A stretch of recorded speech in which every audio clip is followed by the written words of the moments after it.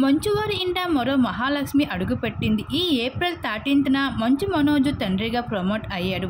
అయితే మంచు మోహన్ బాబు గారు అబ్బాయిగా ఇండస్ట్రీకి ఎంట్రీ ఇచ్చి తన చక్కని నటనతో మప్పించిన మనోజు గత ఐదు సంవత్సరాలుగా సైలెంట్ అయిపోయారు ఇండస్ట్రీకి.